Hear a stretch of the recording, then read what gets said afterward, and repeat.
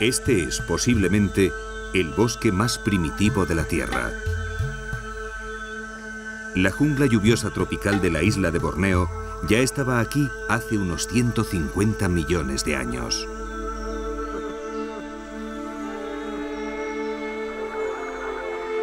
Forma parte de un cinturón verde que rodea al planeta, un mundo desconocido, impenetrable, en el que se esconden criaturas únicas. Animales inconcebibles que muy pocos hombres han visto. Sombras que saben que su única esperanza de seguir viviendo es permanecer ocultos en su isla verde.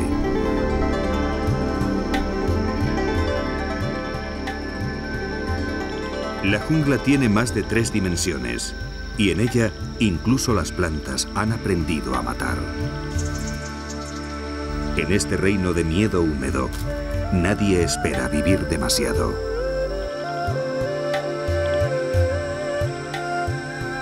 Vamos a pasear por el filo del lado salvaje.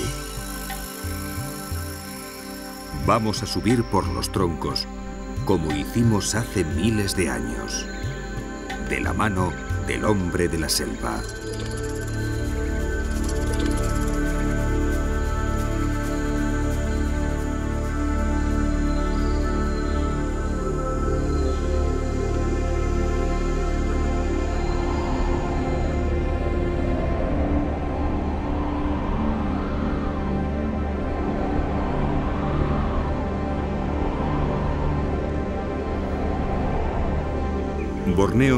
Es la tercera isla mayor del mundo. Situada en pleno sudeste asiático, se encuentra fuera del denominado Anillo de Fuego, lo cual le ha librado de las violentas erupciones volcánicas que han sufrido otras islas cercanas de Indonesia. Aquí, hace al menos 50.000 años, que el suelo no tiembla. Por eso estos enormes árboles, llamados dipterocarpos, han podido crecer y multiplicarse hasta formar una gigantesca selva tropical húmeda, que hasta hace poco era la segunda en extensión tras la cuenca del Amazonas. Una jungla estable en todos los sentidos, cuyas condiciones ambientales cambian muy poco. Aunque el suelo es apenas fértil, la gran humedad y la alta temperatura constantes favorecen el esplendor competitivo en el que cada hoja trata de capturar el mínimo rayo de luz que le permita desarrollar sus procesos químicos. En las selvas lluviosas como esta, se lleva a cabo el 90% de la fotosíntesis de todo el planeta.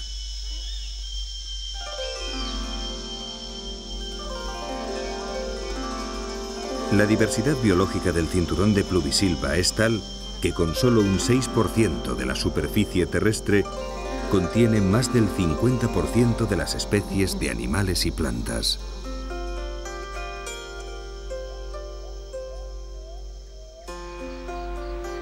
Pero las junglas de Borneo destacan por la enorme cantidad de especies de la flor más sofisticada que existe, la orquídea.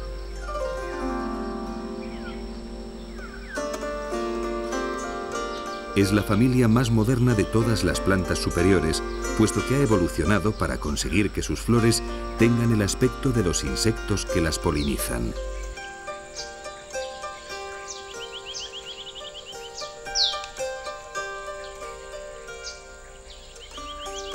Se han descrito hasta ahora cerca de 2.000 especies de orquídeas salvajes en la isla, nada menos que el 10% de todas las del mundo. Son flores tan altamente especializadas que algunas de ellas atraen solo a los machos de una determinada especie de insecto. Por eso hay tal variedad y competencia de diseños. Delicados y exclusivos helipuertos donde no se acepta a cualquiera.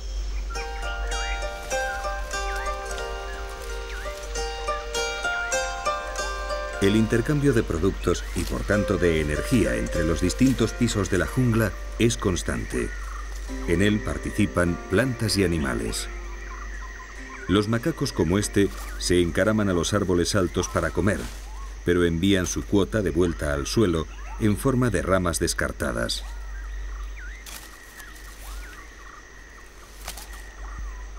Allí abajo, otros comedores de plantas mucho más grandes, como los búfalos bangteng o los ciervos sambares, se encargan de clarear la espesura con sus cuerpos, de remover el suelo con sus patas, de transportar muchas semillas y de abonar la tierra con sus excrementos. Todo el sistema vertical de intercambio de nutrientes funciona en un delicado equilibrio en el que cada eslabón de la cadena es vital y en el que todos sacan provecho de un modo u otro.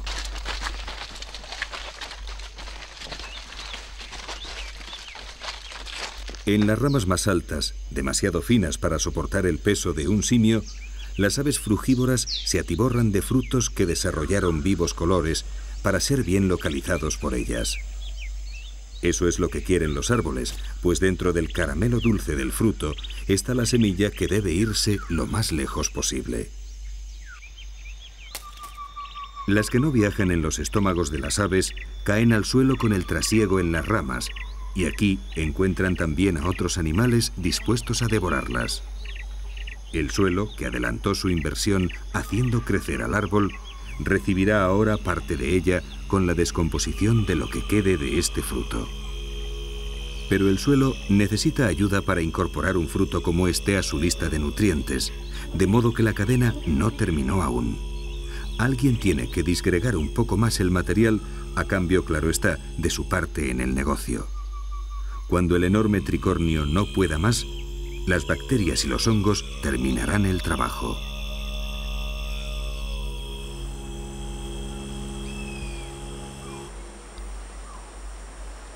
Además del ciclo de la energía, una selva lluviosa como esta mantiene sus propias condiciones de temperatura, pero sobre todo de humedad.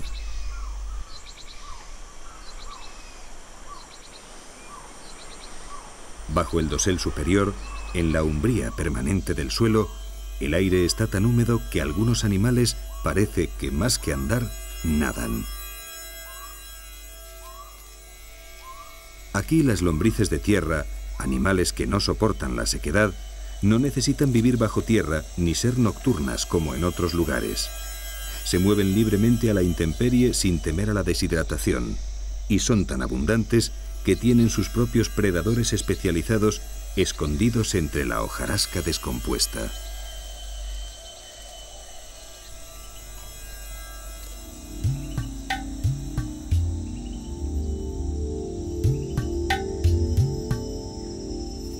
La sanguijuela roja gigante de Kinabalu alcanza con facilidad los 30 centímetros de longitud y vive además entre los 2.000 y los 3.000 metros de altura, algo insólito para este tipo de animal.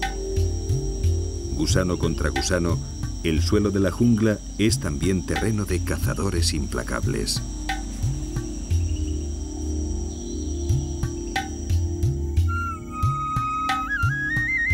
Otras especies de sanguijuelas menos especializadas se apostan en lugares estratégicos confiando en que su próximo huésped pase por allí.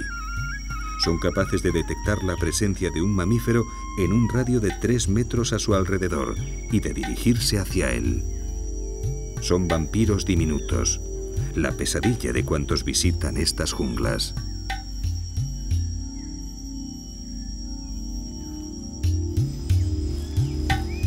La presa se acerca hacia ella. No tiene más que esperar. Un leve contacto y ya está. Pero cuando es descubierta, la sanguijuela debe empezar de nuevo, si sobrevive. Esa humedad caliente y pegajosa del suelo de la jungla es ideal también para los anfibios, que de este modo prescinden casi por completo de su dependencia acuática. Incluso los cangrejos están a gusto en un lugar así. Sin embargo, esta rana tiene sus razones para desconfiar de los bichos con patas articuladas. Porque no todos van con buenas intenciones.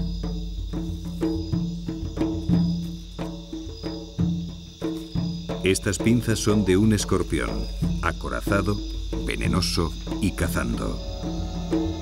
Demasiado cerca para huir. Hay momentos en la vida de una rana en los que es mejor no mover un músculo. Los sensores del blindado están diseñados para detectar calor o la mínima vibración que produzca un leve movimiento. Es un cazador implacable con mucho tacto que ya estaba aquí hace 420 millones de años, 200 millones de años antes de que aparecieran los dinosaurios.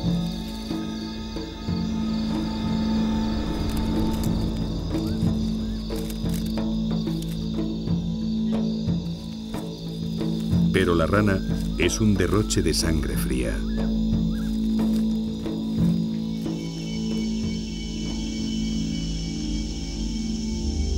En las junglas de Borneo, entre las más bellas orquídeas del mundo, hay un monstruo que hasta hace poco fue una bonita flor roja y blanca.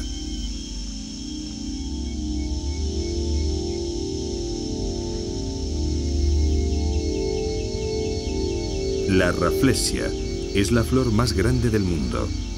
Una col enorme de más de un metro de diámetro que huele a carne podrida para atraer a las moscas que deben llevar el polen de los ejemplares macho a las hembras.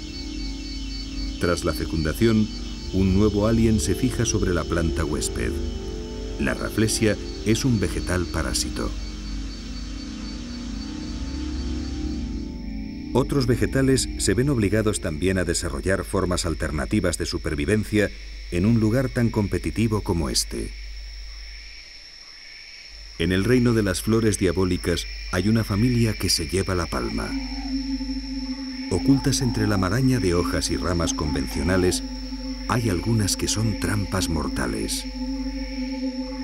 Si el suelo empobrecido les niega el nitrógeno y el fósforo, ellas tendrán que matar para obtenerlos.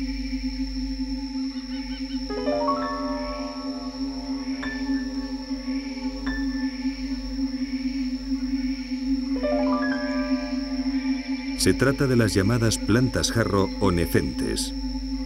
Crecen por todo el sudeste de Asia y aquí en Borneo hay 30 especies distintas.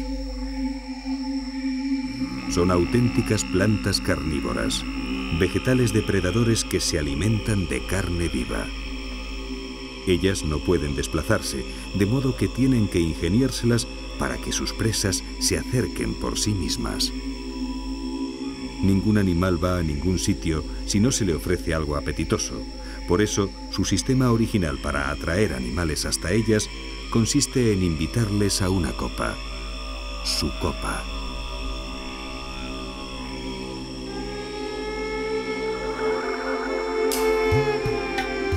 Las nefentes forman un estanquito en su interior, un cóctel compuesto por algo de agua, jugos azucarados y un ingrediente secreto con peores intenciones. Las larvas de mosquito son capaces de crecer aquí dentro, burlando la trampa en el momento en que pueden volar. Pero ese no es el caso de otros infortunados.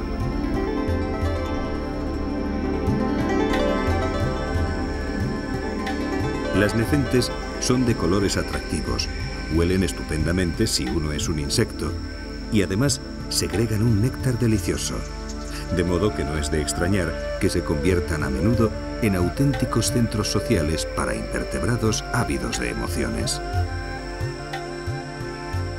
Este trasiego constante de individuos de todo orden es precisamente lo que desea la planta, porque ella sabe que tarde o temprano alguno pecará de exceso de confianza. Las exquisitas molduras que parecen adornar los bordes del jarro son en realidad la fina línea que separa la vida de la muerte. Incluso alguien con tantas patas como este cien pies puede tropezar por una vez, la última vez.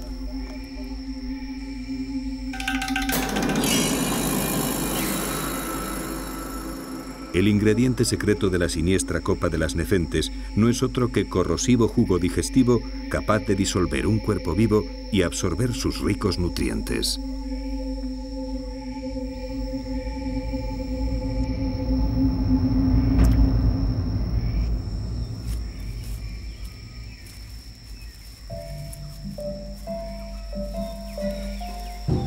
El ciervo volante de Borneo no es un insecto cualquiera.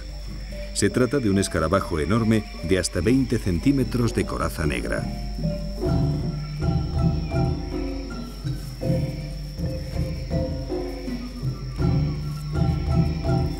Pero bajo ese rudo yelmo se esconde un gran goloso, y para estos gourmets, la Nefentes reserva su mejor caldo.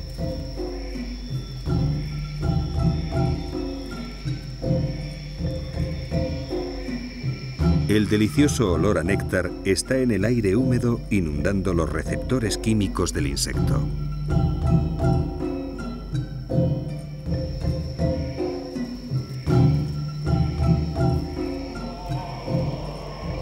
Pero el ciervo volante es un trepador.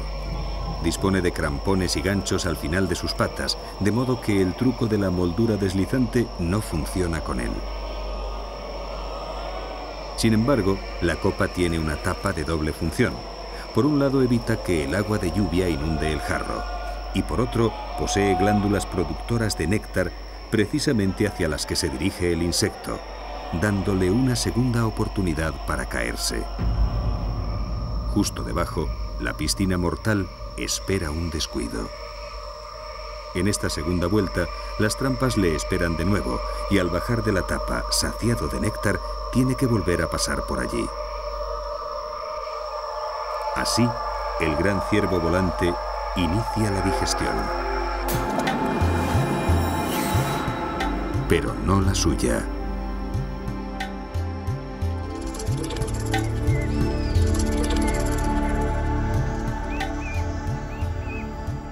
En las junglas antiguas del sudeste asiático existen al menos 31 especies de primates, de las cuales 23 no pueden ser vistas en ningún otro lugar del planeta.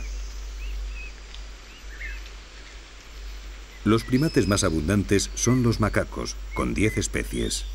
Estos son los llamados de cola de cerdo. Los macacos en general tienen mucho que ver con nuestra salud, pues cientos de ellos mueren cada año en el interior de laboratorios y víctimas de experimentos destinados a probar medicamentos y cosméticos para los humanos. Les debemos, por tanto, un respeto especial, porque son elegidos para ello, precisamente porque se parecen mucho a nosotros.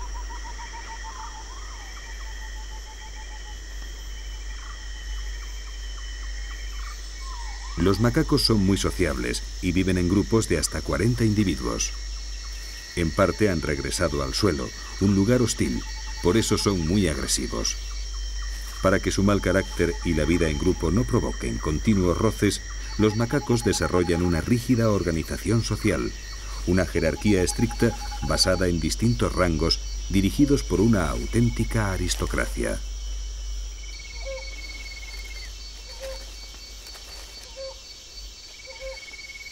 En ellos el rango se hereda, el hijo de una hembra de alto estatus lo adquiere por parentesco.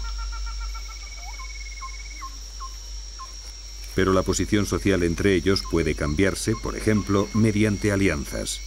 Y una buena manera de alternar con el jefe es asearle el pelo.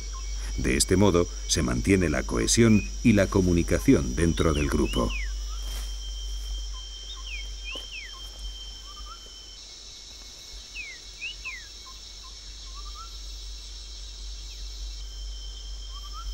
Las hembras permanecen en el grupo natal toda su vida, mientras los machos se van a reproducirse a otras familias. Los pequeños como este aún no se preocupan por ello, limitándose a practicar bajo la protección de sus madres, que siempre están cerca, mirándoles y dispuestas a recibirles en cuanto necesiten cariño o compañía.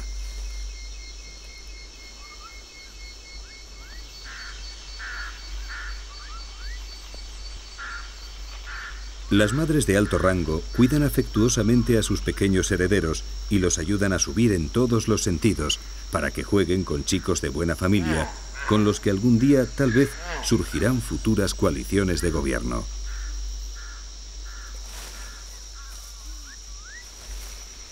Mientras tanto, es el macho dominante el que anuncia un peligro. Un mono de otra especie, muy grande y con una extraña nariz.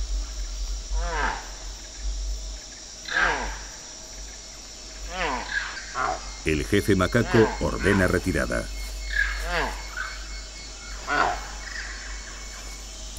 Se trata de un grupo de násicos.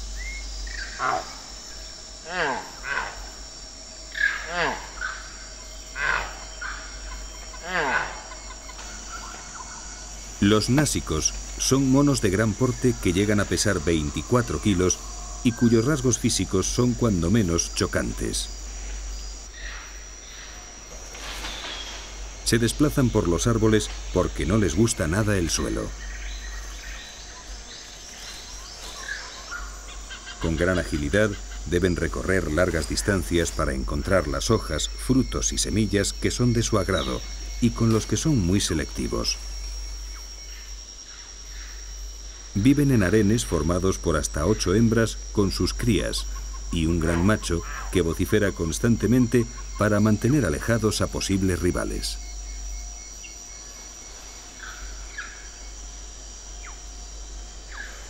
Las hembras tienen menos nariz que su compañero y cuidan de los pequeños hijos de este que aún no han desarrollado los apéndices de su padre.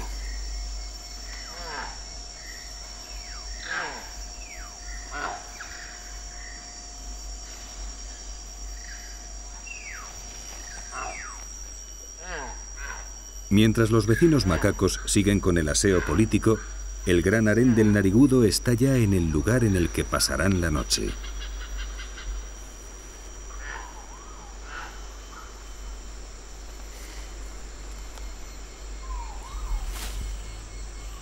Los pequeños násicos se permiten ya limitados periplos verticales por los troncos en los que aprenden a seleccionar las hojas adecuadas para su alimentación.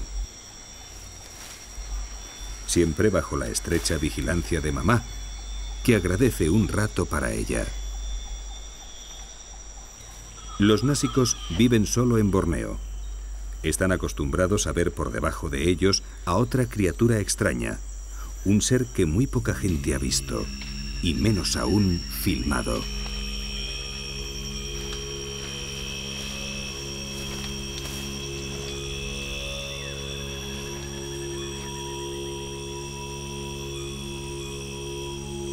Se trata de un animal de aspecto prehistórico, raro incluso entre los suyos, y que parece sacado de las pinturas rupestres de una cueva europea.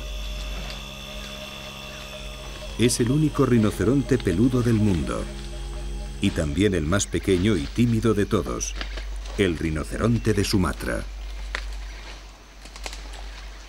Ramonea hojas y ramas jóvenes del abundante sotobosque con especial predilección hacia el jengibre y ciertas palmeras.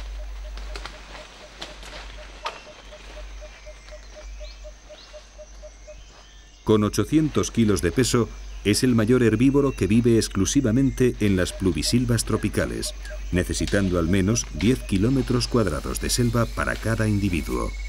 Demasiado espacio para mantener a una población sana en una isla acosada como esta. Se trata pues de un vagabundo solitario cuya ínfima población se dirige con paso firme hacia la extinción. En Borneo solo quedan 50 ejemplares en libertad y sumando todos sus efectivos mundiales, no llegan a 300.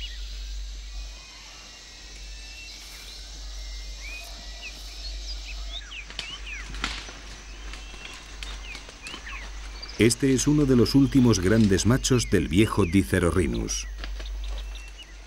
En su parcela de jungla, marca el suelo frotando las plantas de sus patas y dirige grandes chorros de orina cargada de mensajes hormonales para las hembras con la esperanza de procrear con una de ellas. Pero cada vez más de estos mensajes se quedan sin respuesta. Las hembras solo pueden tener crías cada cinco años y estas no son maduras sexualmente hasta los ocho, de modo que su tasa de natalidad es muy baja y ello dificulta la recuperación de sus poblaciones.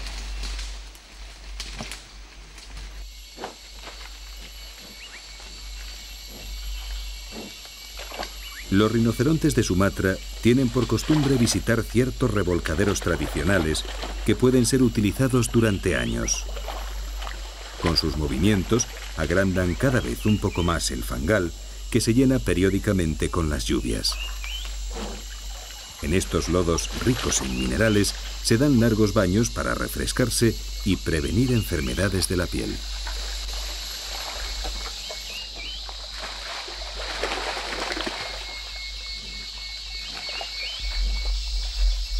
Con satisfacción, mientras se libran de los parásitos externos de su lomo voluminoso, pueden además complementar su dieta vegetal mordiendo trozos de tierra rica en elementos como el sodio y el fósforo. Todo un balneario natural que les reconforta por dentro y por fuera.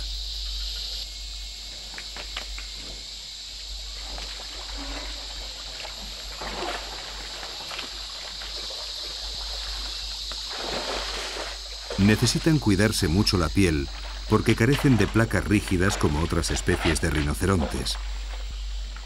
En los grandes pliegues blandos de su cuerpo y entre los pelos suelen alojarse molestos inquilinos que es necesario eliminar periódicamente, incluso de los lugares más inaccesibles de su cuerpo.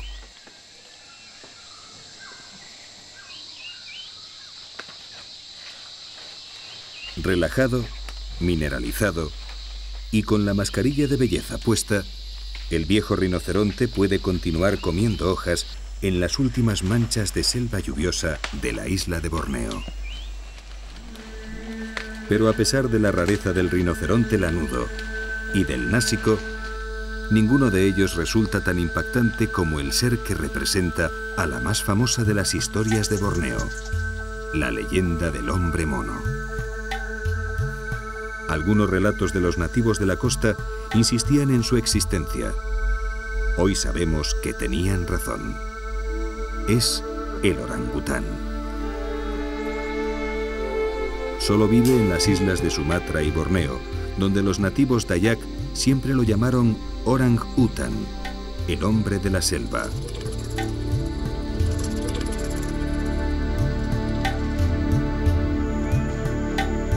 Si lo hubiera, él sería el rey rojo de esta jungla. Su forma de transporte se llama braquiación y consiste en colgarse de sus enormemente poderosos brazos que extendidos alcanzan los dos metros y medio de envergadura. Balanceando los troncos jóvenes, pueden cruzar los pasos sin ramas.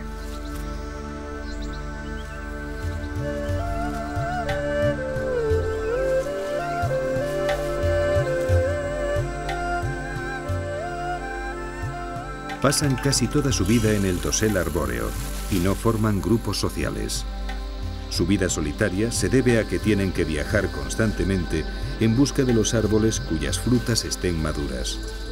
Ello los convierte en expertos botánicos capaces no solo de distinguir decenas de especies, sino de predecir cuándo y dónde madurarán los frutos de cada una.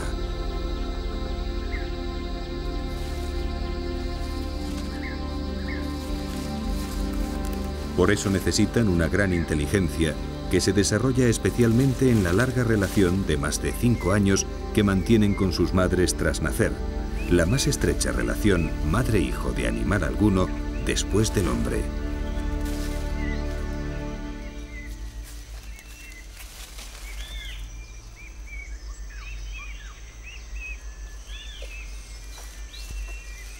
Conocen cada tipo de hoja, Saben cuando un brote es venenoso, pero además poseen armas anatómicas perfectas para llegar hasta la comida.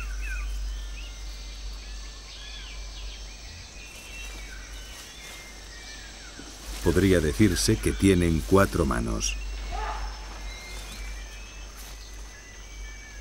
Desde muy jóvenes, sus ojos y sus cerebros desarrollan la visión frontal estereoscópica junto a la capacidad de medir las distancias con gran precisión.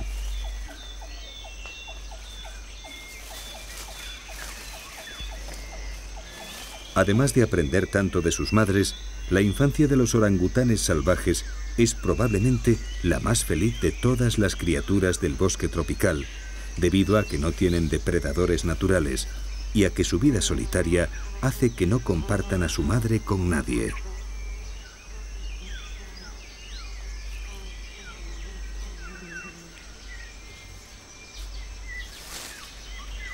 Los machos adultos deambulan por la jungla siempre solos. Comen durante el día y cuando llega la noche hacen algo único entre los simios de Malasia. Construyen un nido para dormir. Esta habilidad para hacer cosas con las hojas también se desarrolla en la infancia. De este modo, la selva se llena de enormes nidos que les son muy útiles a los biólogos para localizar a los esquivos orangutanes. Simplemente se trata de arrancar hojas y ramas entrelazándolas en una horquilla adecuada.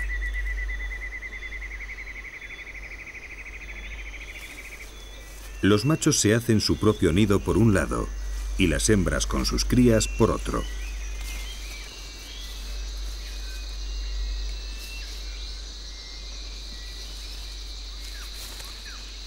Los grandes machos adultos desarrollan una especie de discos faciales que junto con la barba pelirroja les dan un aspecto impresionante.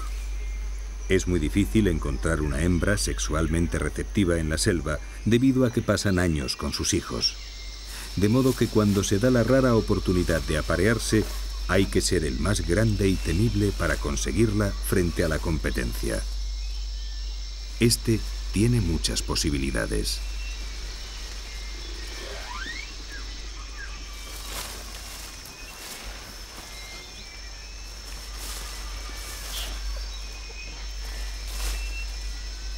A pesar de sus 90 kilos de peso, un macho adulto muestra toda su fuerza imponente cuando recorre su bosque. El gran espíritu rojo representa la esencia de las junglas lluviosas de Indonesia, únicas, valiosas, pero vulnerables.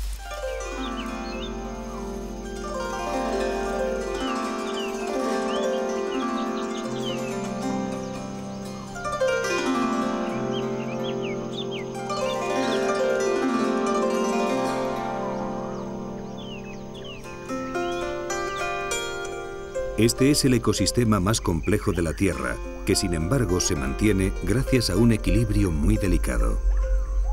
Los bosques húmedos tropicales actúan como reguladores del clima de todo el planeta. Los efectos climatológicos e hidrológicos de los bosques húmedos tropicales son tan poderosos que se pueden medir a miles de kilómetros de distancia de los trópicos. Sencillamente, estas selvas fabrican nubes.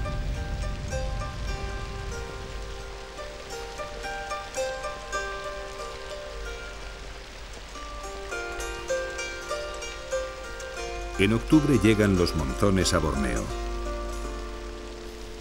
Entonces no para de llover, algo realmente insoportable incluso para un orangután.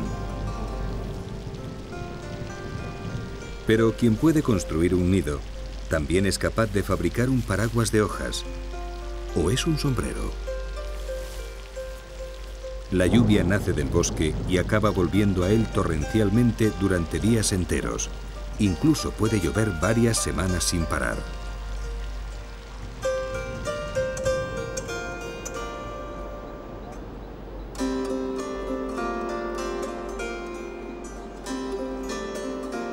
El agua, cuando cae sobre un bosque, no produce grandes riadas ni se lleva el suelo fértil.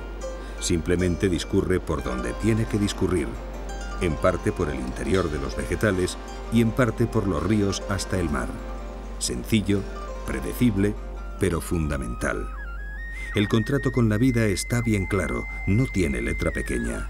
Sin selvas no hay nubes, sin nubes no hay lluvia, sin lluvia no hay agua, y la que cae arrastra el suelo dejándolo muerto. Con el suelo muerto y el sol calentando en exceso porque no hay nubes, el resto es fácil de imaginar. Todo lo demás que se diga solo afecta al orden en el que iremos desapareciendo ellos antes. Pero a la ciencia no le cabe duda de que nosotros iremos después. El planeta entero necesita que estas selvas sigan existiendo. Se trata de una cuestión de vida o muerte, de un problema que sobrepasa a países, gobiernos y religiones. Eco significa casa. Por eso, ecología y economía no deben ser dos hermanos peleados. Mientras tanto, la destrucción sistemática de las últimas selvas lluviosas continúa. El siglo XX murió matando y lo que vaya a ocurrir en el XXI sigue en nuestras manos.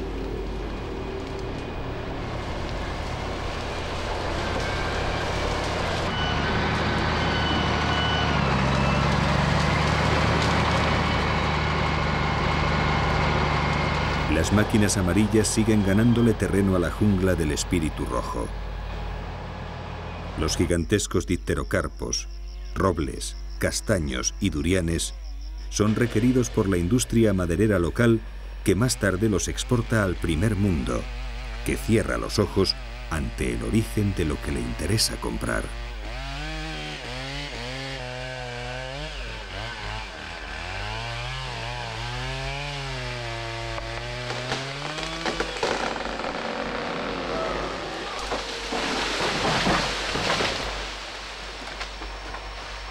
Casi todas las pluvisilvas se encuentran en países pobres, cuyos únicos recursos están en ellas, y que también tienen derecho a una industrialización que acabó con los bosques de los países ricos hace cientos de años.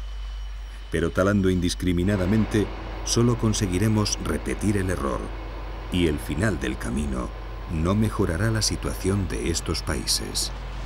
Entre todos, podemos evitarlo.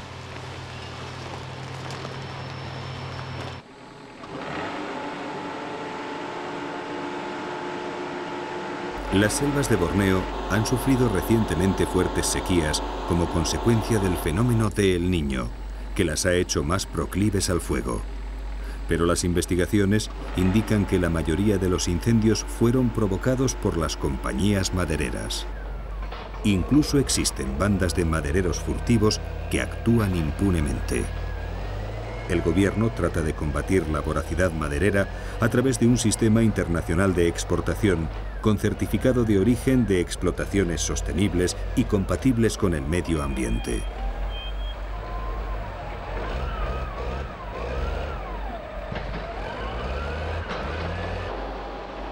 Después de los últimos incendios, se ha estimado que unos mil orangutanes huérfanos estaban en manos de agricultores de las zonas limítrofes tras la muerte de sus madres cuando trataban de librarles de las llamas.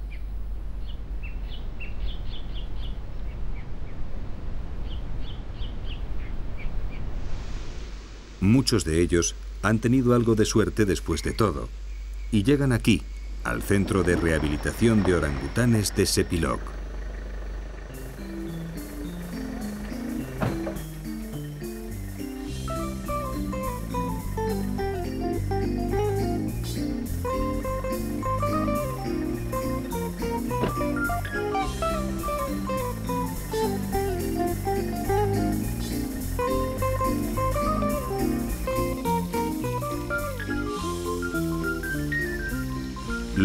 Hacerle un reconocimiento al recién llegado, pues a menudo han sufrido fuertes traumas y estrés debido al transporte.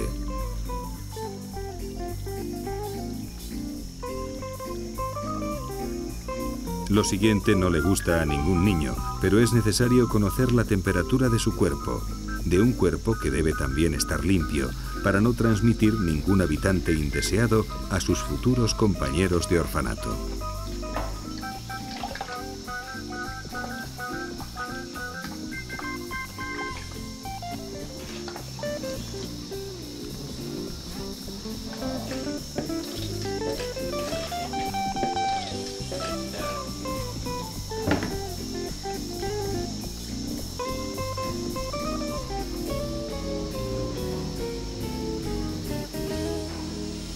Con evidente satisfacción, el pequeño orangután solo echa de menos una cosa.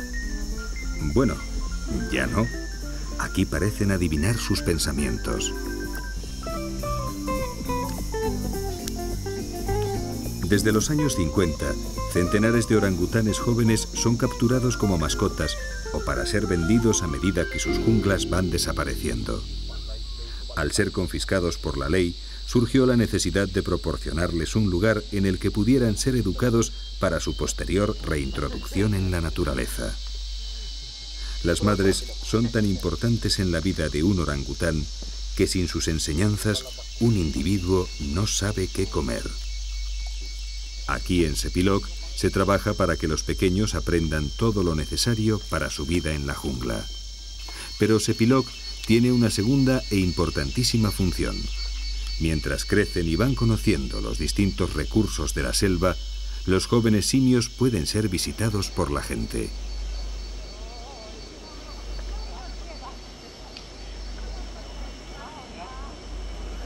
De este modo, el público tiene la oportunidad de mantener un contacto directo con un animal al que difícilmente verían en su medio.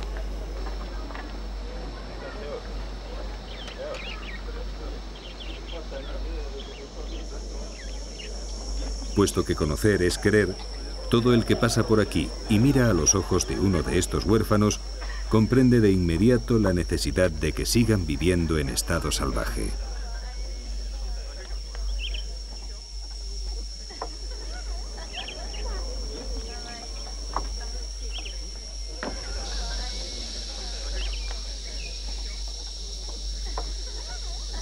No es un zoo.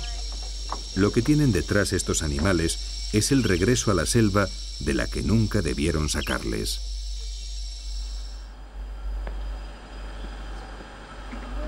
Ahora, un equipo de biólogos, veterinarios y cuidadores trabaja no solo para que cada ejemplar en concreto salga adelante, sino para conocer algo más acerca de la fisiología, las enfermedades y el comportamiento complejo de estos animales que tanto nos recuerdan a nosotros mismos.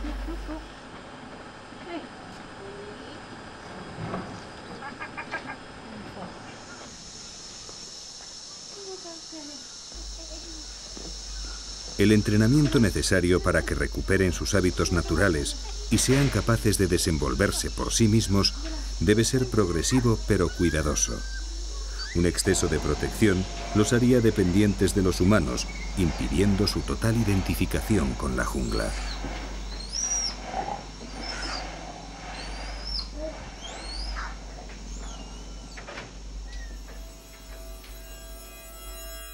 Pronto saldrán de aquí.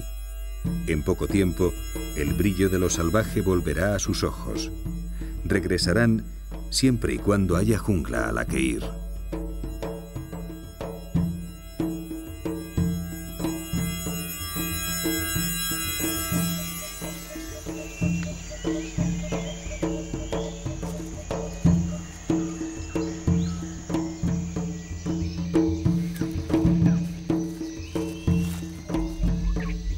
Todos se adaptan. Algunos orangutanes que fueron arrancados de los brazos de sus madres muertas ya no saben lo que son. Como tarzanes inversos, no se sienten completos en ninguno de los dos mundos. Cuando vuelven a la selva, no saben qué hacer hasta que sienten hambre y se van hacia lo único que conocen, su jaula.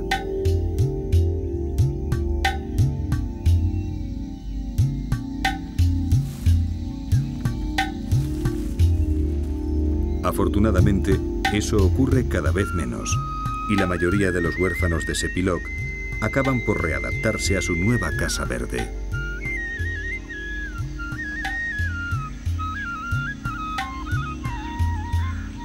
Poco a poco van reconociendo sabores, olores y texturas que les llevan más y más lejos del centro de rehabilitación, al que con suerte olvidarán para siempre.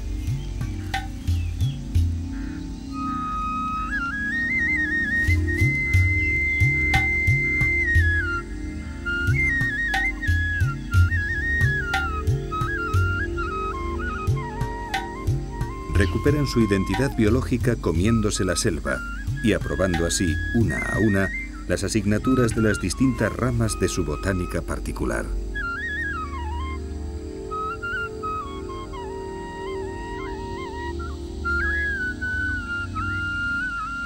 Un día, al mirar abajo, ya no hay turistas, sino rinocerontes peludos.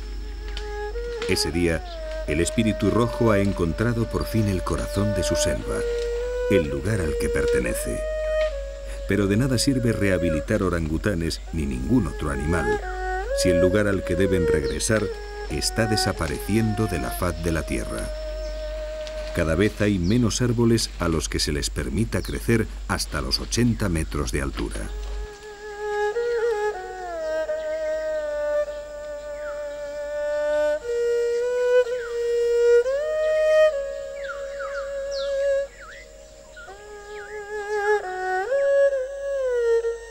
Todos los organismos vivientes, tanto animales como plantas, están compuestos de carbono. Dado que los bosques húmedos concentran tal cantidad de vida, contienen enormes cantidades de este elemento. El carbono escapa a la atmósfera en forma de CO2 cuando quemamos petróleo en las ciudades, acumulándose y provocando el calentamiento del planeta. La única forma de disminuir la cantidad de CO2 en la atmósfera a corto plazo es la existencia de árboles. Los árboles, al crecer, absorben el CO2 e incorporan el carbono a sus células. Es necesario plantar más árboles. En Borneo hay personas que se dedican a ello. Plantando cara en una lucha desigual, tratan de compensar al bosque por los ejemplares perdidos. En sus propios viveros cultivan los plantones de las especies de árboles de hoja ancha que más han sufrido la tala. Cuando han crecido lo suficiente y se comprueba que no portan enfermedades, se aclara un poco de antiguo terreno de selva invadido ya por las herbáceas y se planta el pimpollo en un lugar en el que tenga ciertas probabilidades de medrar.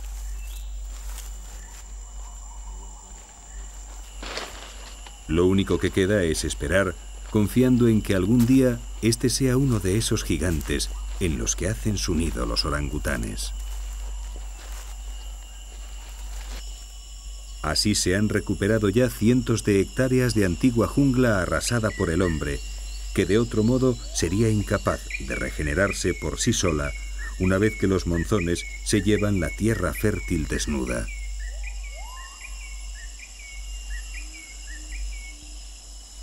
A pesar del enorme esfuerzo de algunos gobiernos y asociaciones, el ritmo de reforestación nunca puede igualar al de destrucción, a menos que se trabaje conjuntamente y con un plan bien trazado. Las selvas lluviosas de Indonesia todavía tienen una oportunidad si se pone freno a la tala desmedida y al comercio ilegal de maderas tropicales, lamentablemente de moda en el mundo occidental, en el que el curiosamente denominado mueble colonial tiene gran éxito por su bajo precio.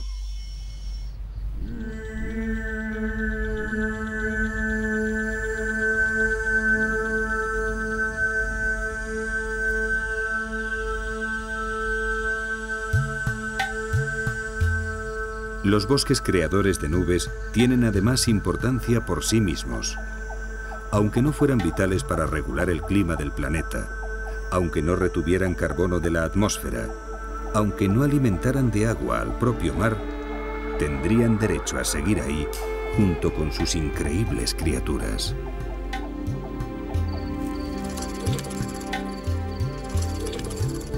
Nadie sabe cuánto nos queda por descubrir aún de muchas de ellas, ni cuántos remedios para nuestras propias enfermedades se encuentran escondidos aquí, en formas genéticamente insustituibles y cuyos procesos bioquímicos internos tienen aún mucho que decirnos.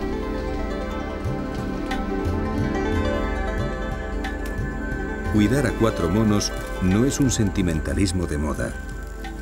El orangután no es más que un símbolo de la misma selva lluviosa, el lugar más rico en vida del planeta Tierra. Ellos son los guardianes de nuestra propia salud como especie. Nos enseñaron de dónde venimos y nos han acompañado hasta ahora.